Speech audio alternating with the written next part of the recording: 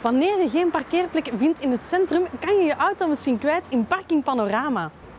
Een gebouw dat er niet meteen uitziet als een parking. En daarom stelde Rob ons de vraag: wat is het verhaal achter het gebouw van Parking Panorama? Zijn een paar mooie elementen in het gebouw, maar de bijzonderste plek is toch wel de bovenste verdieping. Want je vindt hier een rotonde met een omtrek van 120 meter en een fantastische constructie onder het dak. Deze plek wordt in 1879 ontworpen, niet als parking, maar wel als tentoonstellingsruimte voor panoramische schilderijen.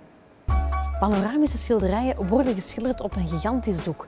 Dat doek wordt dan in een ronde gehangen en als toeschouwer word je omringd door het schilderij, alsof je midden in het schouwspel staat.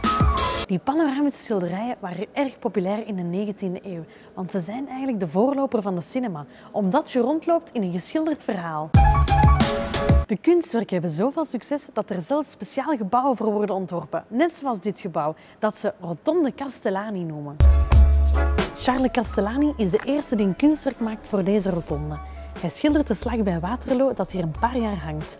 Daarna wordt het vervangen door de slag aan de IJzer van Alfred Bastien, dat zo'n 750.000 toeschouwers trekt. Maar het succes blijft niet duren. In 1924 gaat de plek failliet en wordt het een parkeergarage.